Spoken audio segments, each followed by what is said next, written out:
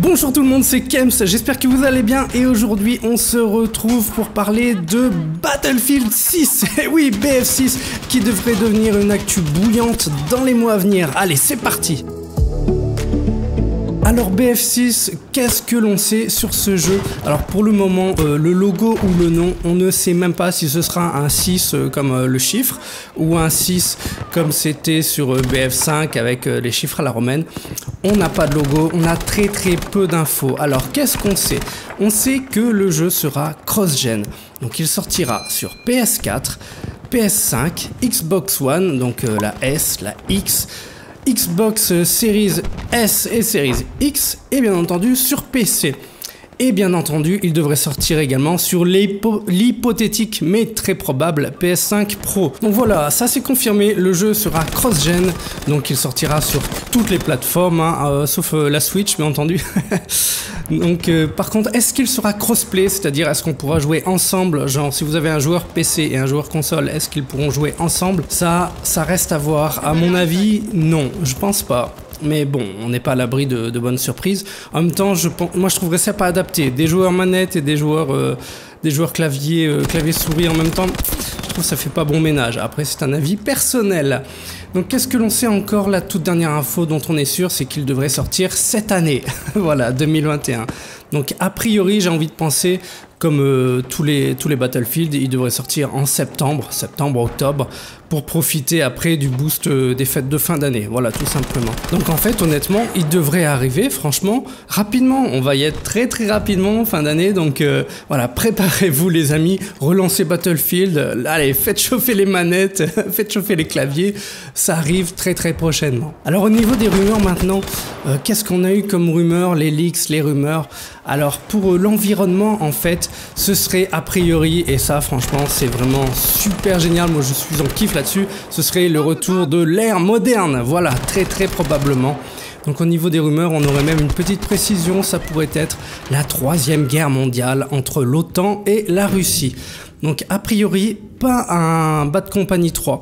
Donc euh, pour les, fans vraiment de Bad Company, bon c'est une petite déception. Mais moi je pense que voilà, s'il reste sur la lignée d'un BF3, BF4, ça va tout dépoter. Il n'y a pas de raison, voilà. Donc euh, franchement le retour de l'ère moderne, en même temps c'était un petit peu obligé.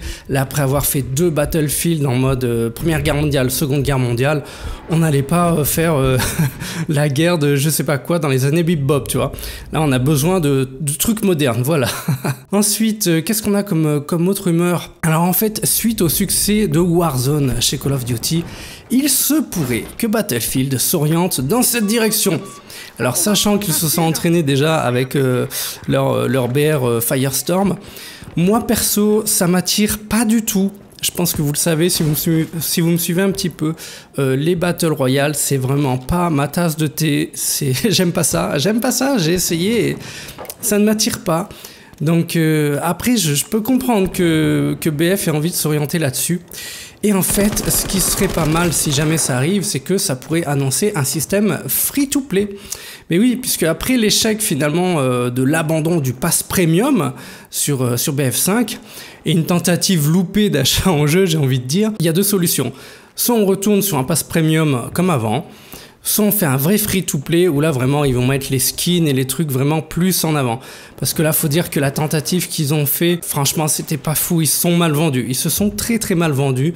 Faut dire que BF ne s'y prêtait pas forcément à fond de base.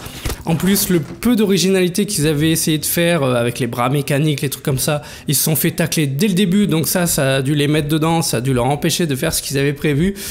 Donc euh, voilà, en tout cas là ils auront tout le temps, en tout cas ils sont déjà en train d'y travailler, eux je pense qu'ils savent où ils vont, de réfléchir à ce système là. Donc ça sent le free to play. Et si c'est pas un free to play, pour moi il vaut mieux que ce soit le retour du pass premium, vraiment moi je suis prêt à mettre 50 balles de plus pour avoir euh, toutes les, tous les DLC, il n'y a pas de problème. Voilà. Au niveau des autres rumeurs, ce serait le nombre de joueurs max qui devrait augmenter. Oui Oui, après toutes ces années, depuis 20 ans, là je sais pas combien d'années, tout ce temps qu'on rêve d'un nouveau Battlefield, on se dit ouais le prochain c'est bon, ils vont passer de 64 à 128. C'est logique, c'est comme les, consoles à l'époque où on passait de, de 8 bits à 16 bits à 32 à 64 à 128. C'est la logique. Alors donc de base, on pense forcément à 128, euh, mais rien n'est confirmé. Donc euh, ça se trouve ce sera seulement 100 peut-être pour faire euh, pour faire comme euh, pas mal de, Battle Royale. Je ne sais pas. En tout cas, vraiment pour moi, c'est un gros gros kiff. J'attends vraiment ça depuis toujours. Donc euh, ça, j'ai hâte.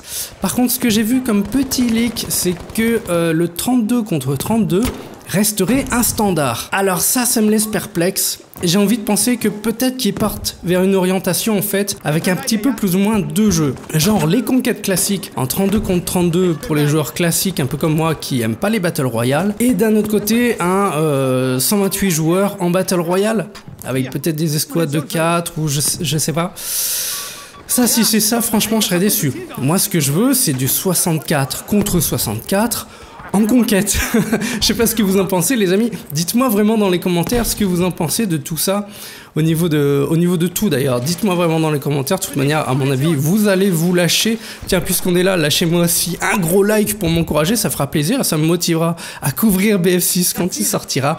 Un gros like. Abonnez-vous, c'est pas déjà fait. C'est gratuit. Suivez-moi sur les réseaux sociaux Twitter, Facebook, Instagram. Voilà, la pub c'est terminé. On passe maintenant à mes attentes pour ce BF6. Quelles sont mes attentes, les amis? Alors, moi, tout d'abord, vraiment, euh, ma première attente, c'était le retour à l'ère moderne. Voilà. Pourquoi? Parce que je veux des avions modernes, comme genre le F-35B avec son décollage vertical. Je veux vous faire des tutos là-dessus. Je veux le retour des hélicos, ma gueule. Et ouais, les hélicos, parce que moi vraiment, c'est le véhicule que j'ai le plus apprécié de tous les Battlefield dans BF3 et dans BF4 diriger l'hélico comme ça en clavier souris. Oh, quel plaisir les amis franchement. Et j'ai envie de vous faire des tutos là-dessus. J'ai envie que vraiment, j'ai envie que voilà les mecs qui kiffent les véhicules là, ils soient, ils soient là, toi. Il y a, y a trop de gens, trop de joueurs FPS qui sont juste infanterie.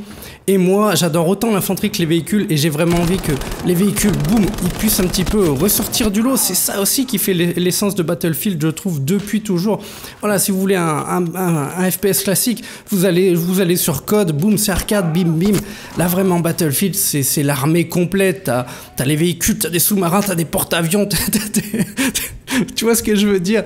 Bref, moi en tout cas j'ai une grosse grosse attente au niveau des véhicules. Je kiffe les véhicules les amis. Et bien sûr voilà, le retour des armes contemporaines, voire des armes un petit peu de l'avenir proche, pourquoi pas. En tout cas voilà, ça ferait plaisir de pouvoir euh, se rééquiper du FAMAS, même si euh, avec sa cadence de tir folle, alors moi vous le savez j'adore ça les cadences de tir folle. Euh, c'est vrai qu'au niveau du recul c'est compliqué à gérer, mais c'est pas grave, moi je kiffe. Voilà, alors ce qui pourrait être drôle aussi, ce serait comme je vous disais d'avoir des, des armes de l'avenir proche. Genre, moi j'imagine, je sais pas, des, des, véhicules Tesla, tu vois, des tanks Tesla, tu vois. Genre des véhicules blindés électriques, des tanks électriques, des trucs, voilà, qui, euh, pourraient exister dans, dans 100 ans ou, quoi, pas non plus en l'an 3000, mais des, des, trucs du, futur euh, à moyen terme, on va dire. Ça, franchement, moi je trouverais ça super génial, sans non plus tomber, dans le Battlefield, comment il s'appelle celui du futur là Dites-moi dans, les commentaires, j'ai plus le nom. En tout cas, euh, voilà. D'ailleurs, celui-ci, euh, je l'ai jamais fait. Ce qui est bien dommage. Donc, euh, si jamais ils nous font un twist et que finalement c'est un Battlefield du futur, il y a des chances que je kiffe bien quand même. Voilà, petit aparté. Donc voilà, dans mes attentes également, alors bien entendu, l'augmentation du nombre de joueurs à 128 sur des maps en conquête. Voilà. Là, je le redis, je vais pas épiloguer là-dessus, je l'ai déjà fait. Voilà, ça c'est très important pour moi. Également, tac tac tac. Mes petites notes, bah oui. Alors, par rapport à ce qu'on a eu, oui, garder les spécialisations d'armes et de véhicules qu'ils ont introduit dans BF5. Ça, je trouve que c'est un très bon système qui permet de varier les plaisirs qui me permet de vous faire des tutos.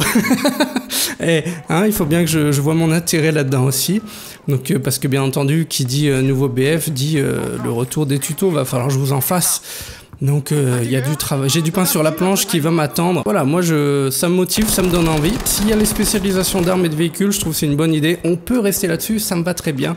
Ce qui serait pas mal, en revanche, c'est qu'il redonne de l'importance aux accessoires, comme euh, genre les silencieux à la BF3, qui euh, de manière cosmétique, de manière visuelle, tu voyais le, silencieux sur ton arme, mais en échange, voilà, ta puissance, je crois que c'est la balle qui avait une moins grande portée, ou je sais plus exactement, mais tu avais un petit désavantage du fait de mettre un silencieux. Ça, je trouve ça bien que le cosmétique s'allie aux statistiques, au pur et la rime. ça, je trouve ça vraiment cool. Sinon, quelque chose qui serait vraiment bien, les développeurs, si jamais vous m'écoutez, euh, ça m'étonnerait qu'ils m'écoutent. Hein. Mais bon, ne sait-on jamais.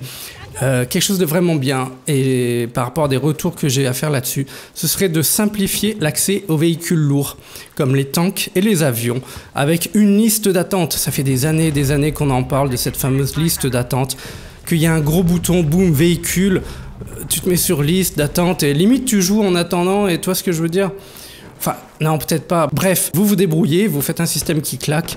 Parce que moi, trop trop souvent, sur mes deux tutos, euh, guide du tank et guide des avions, j'ai vu trop de personnes me demander tout simplement Hey Kems, comment on fait pour prendre un avion?